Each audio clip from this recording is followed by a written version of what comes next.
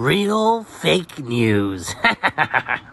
Apparently, Dr. Phil was the inspiration for the Dr. Seuss character, the Lorax. Well, you can be the judge on that one. Real fake news.